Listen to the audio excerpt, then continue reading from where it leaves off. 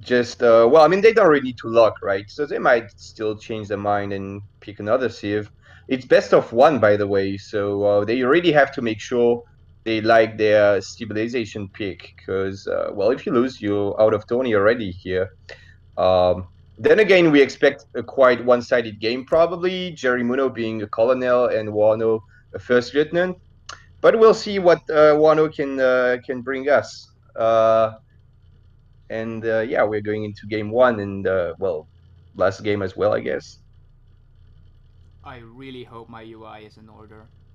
Uh, it should be it should be already included in EP now. Oh, I okay. didn't. Oh, I, I haven't installed 100%, but I might be on maximized UI. I'm not. Okay. It doesn't matter. I think it's supposed to switch to minimized UI Oh, automatically really? and co- and come back to max UI uh, after the when it's not observer mode anymore. Yeah, they did a really really nice job uh, implementing that. So now you you don't have to bother like checking anything. You just create up and it should be done for you. So it's pretty nice. Really cool. Yeah, definitely. Oh yeah, you have diplomacy now, of course, and the new EP. nice. anyway, we do have in the top right of Bengal in the color red as the Japanese Jerimuno. His opponent in the top left side of the map in the color blue also as Japan, Warno. I'm not too familiar with Warno, but I have seen Jerimuno play quite often. Do you know uh, Oh. something about Warno? Uh, Warno's been around um, for quite a while. He's uh, on ESOC as well in the forums.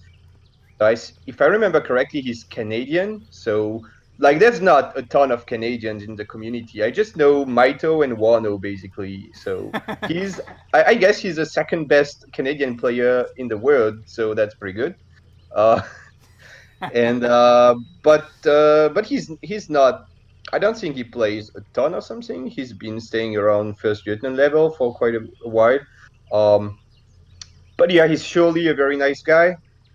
And uh, well, Jerimuno is a bit more famous probably because he's uh, not quite top player, but he's close to to the best level, let's say.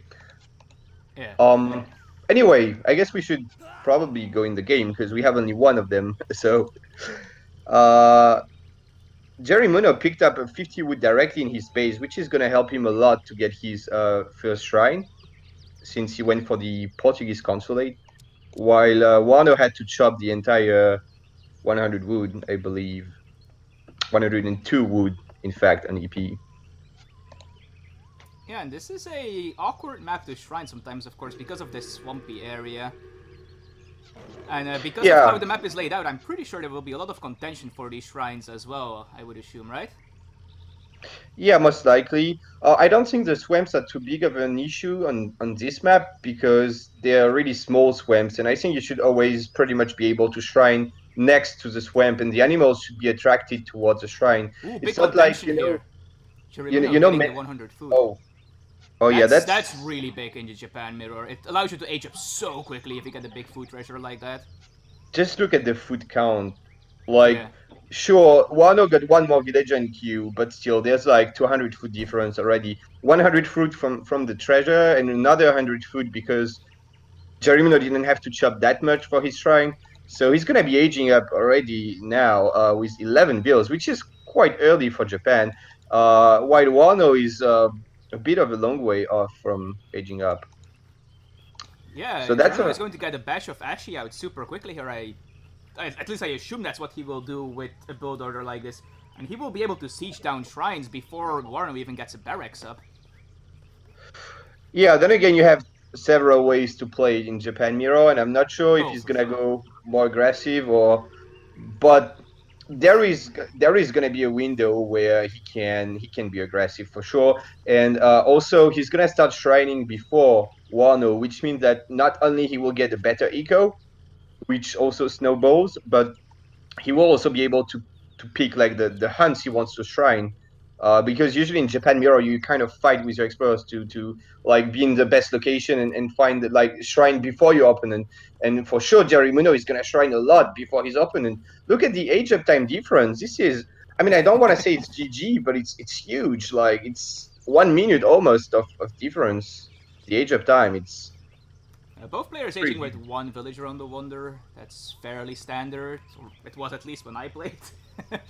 yeah, it is quite standard. Um, but maybe Warno is gonna add some villages. I would like him to maybe add like three vills when he sees that Jerimuno is up, while he's himself not even halfway up. Uh, I think that's a point where you just add some vills.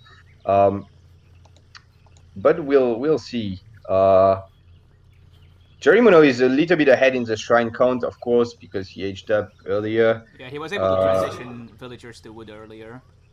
Yeah. And uh, we have to see now what Jerimuno wants to do.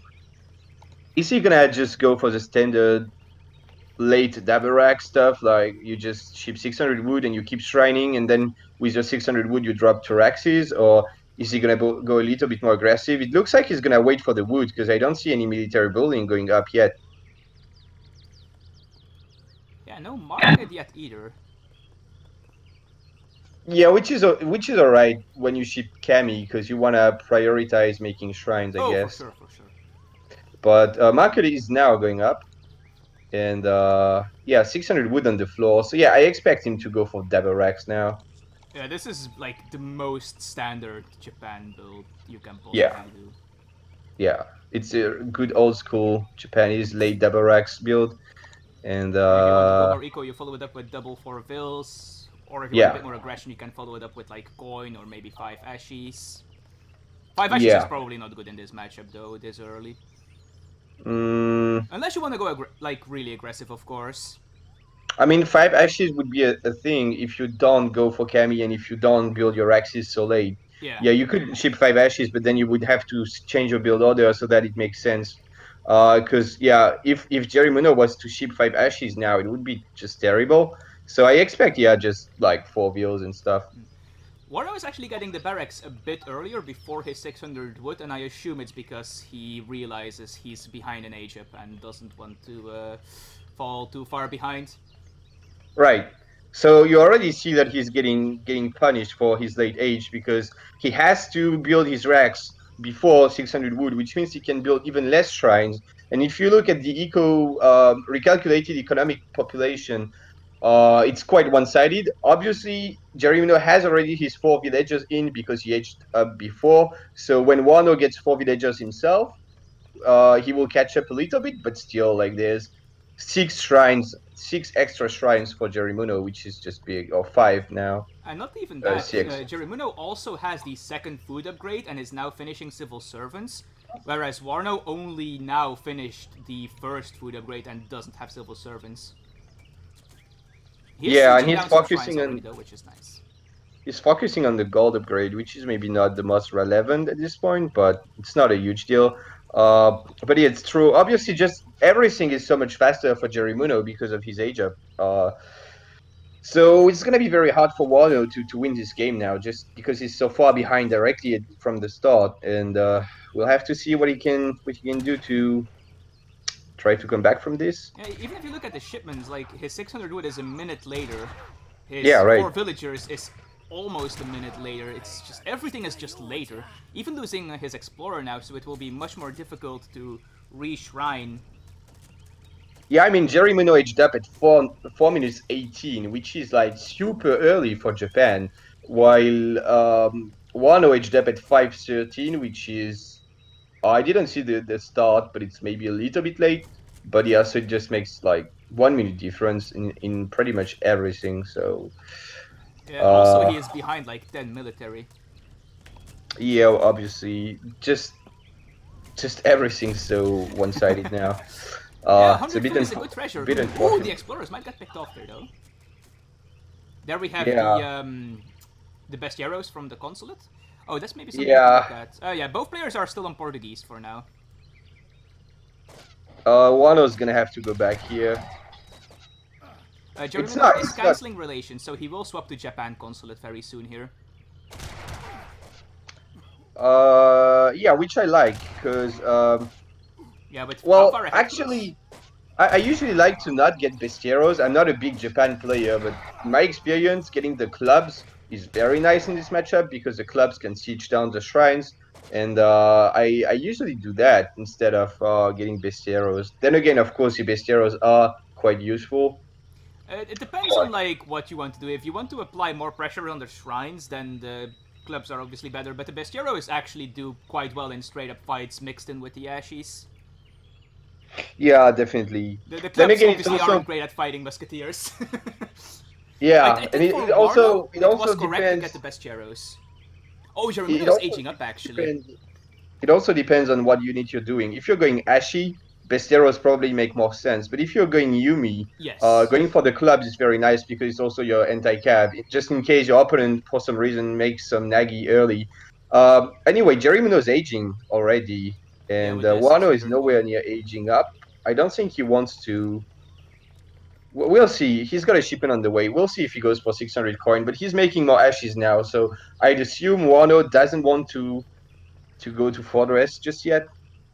Well, I mean, look at the shipments. he can't yet. Oh, shipping the daimyo. Okay, Yeah. If he ships the daimyo, there's no way he goes fortress for quite a while.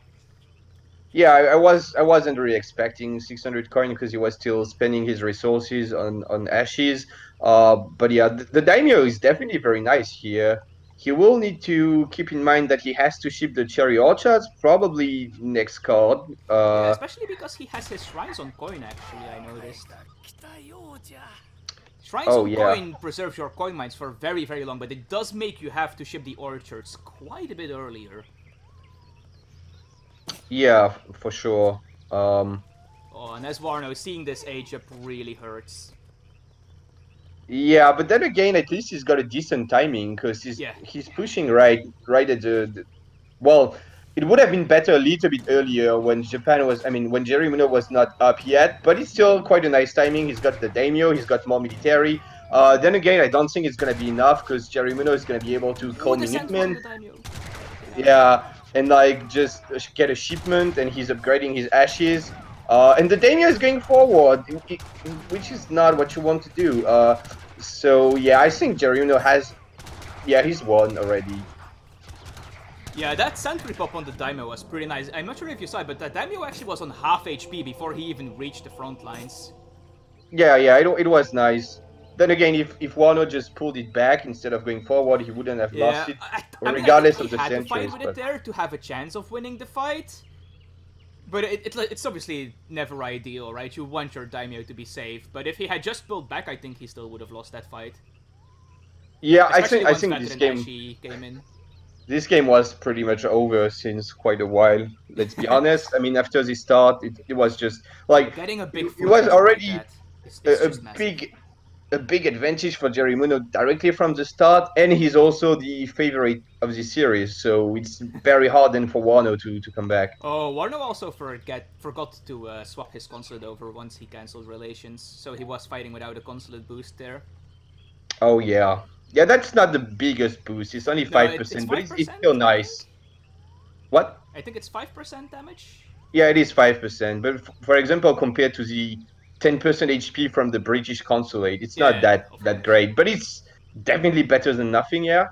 Uh, I For think that just the consulate doesn't change the Ashi math. You have to like also send the card for the math to change. Well, he's got the daimyo, so I'm not sure. Oh but yeah, yeah. Daimyo with consulate also changes it. I think it makes it one less shot. Yeah, and the anyway. I did that like two years ago. It's been too long. I'm sorry. no, but I think mean, daimyo plus consulate also changes the math. Anyway, and anyway, even regardless of the of the bonus, you like he's got export he could spend on clubs to, Yeah, to clubs the exactly. shrines if he would go to Japanese. But yeah, anyway, that means Jerimuno is gonna move to the round of uh, 32, I believe. I'm just quickly Um, looking at, at the, the post game. Yeah, that, that 100 food, it's just such a massive treasure. I, I don't think you can overstate how big that was. Yeah, and also the 50 wood is 50 wood is almost the same as 100 food. I mean, it's maybe worth like 80 or 90 food, something like that. Yeah, he had that as well, yeah. Yeah, yeah. So it's it's just basically 200 food difference, and that's what we had. And 200 food is a lot because it's not only 200 food; it's 200 food plus your opponent has to keep training villagers all this time. So it's basically like a 300 foot difference or something. Like you age up even later because you keep making vills before aging, and it just snowballs really quickly, especially in a matchup where you make shrines in, in transition. Um, the age up was just actually a minute later for Warno.